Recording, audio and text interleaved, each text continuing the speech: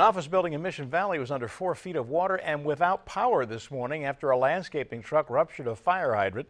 10 News reporter Ashley DiMartino live at the Aero Fund Financial Plaza on Camino del Rio South. Without this isn't the first time that building is flooded, Ashley. Uh, no, it isn't the first time that that's happened. A very big oops created a huge mess inside the first floor of that building. And right now, crews are inside trying to clean things up.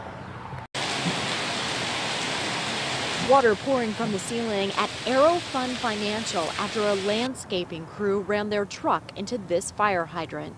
It ended up being a pretty much a catastrophic flood of water coming from that since it was at a high point above this building.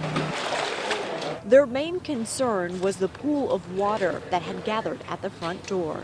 If those doors failed, then we'd have a, a, a large pool of water of thousands of gallons suddenly hit that floor. The nearly five inches of water that seeped inside began to find every spot and space it could to run out and around the building. It was coming down through all the seams of the floor, going down into the parking structure.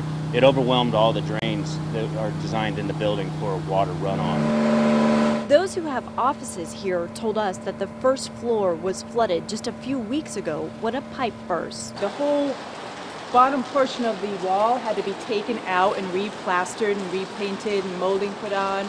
And they were actually going to replace the rugs too. And then here we go again, it got flooded again. And and flooded again and again. As I said, the crews are inside cleaning things up right now. We did talk to the fire department. They told us the actual structure of the building has not been compromised. But employees, however, tell us it'll be another week before they can get back into their offices. We're live in Mission Valley. Ashley DiMartino, 10 News.